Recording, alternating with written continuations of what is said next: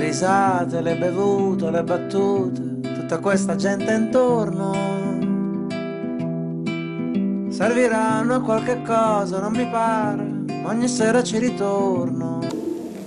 Amici, ci troviamo al rifugio degli asinelli a Salabiellese con Barbara Massa, responsabile del centro rifugio. Allora, innanzitutto come funziona? Che cos'è questo rifugio degli asinelli? Allora, siamo la sede italiana di un'organizzazione inglese che è The Donkey Century che da oltre 40 anni si occupa di tutela e cura di asini in particolare, asini, muli e bardotti in realtà.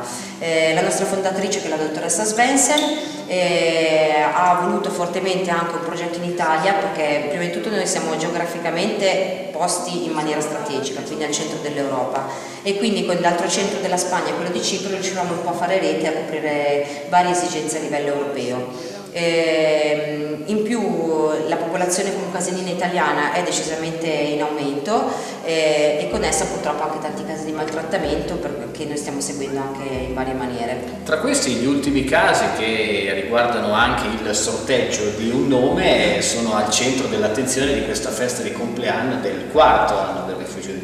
Esatto, in realtà la fondazione nasce nel 2006 però abbiamo aperto al pubblico agosto 2009 quindi tutti gli anni eh, ricordiamo il giorno di apertura con questa grande festa in cui organizziamo giochi per i bambini, attività educative e insomma tante, tante attività diverse per, per attirare un po' di pubblico e farci conoscere sempre di più. Gli ultimi asili maltrattati sono quelli arrivati da Colleferro. Da Colleferro, sì. Ok, quindi vicino a Roma. Esatto, è un maxi sequestro che è cominciato grazie alla denuncia di Italianos Protection ai tempi a Striscia la Notizia, che l'aveva mandato in onda a gennaio e attualmente è in collaborazione con loro, con l'EMPA nazionale e l'Ufficio tutela animale del Ministero della, della Salute abbiamo sequestrato e spostato oltre 200 animali eh, presso affidatari presso persone private che ci hanno fortunatamente dato una mano accogliendo questi animali quasi tutti in condizioni pietose perché venivano letteralmente abbandonate nei campi, nei campi fame di sete. Bene, grazie Barbara. Noi seguiamo i giochi e i festeggiamenti di oggi. Un'ultima cosa per chi volesse visitare, mettersi in contatto, aiutare, avere informazioni, il modo più semplice ormai abbiamo verificato essere il web, come si fa? Allora www.irifugiodegliasinelli.org Benissimo, grazie Barbara. Grazie a te.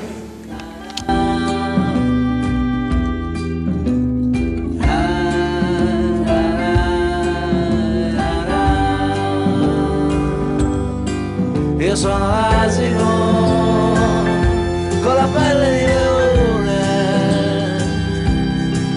che non riesce a ragionare ma vuole sempre aver ragione.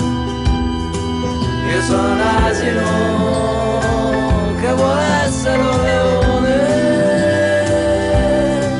che anche se non serve a niente che anche fosse solamente canción.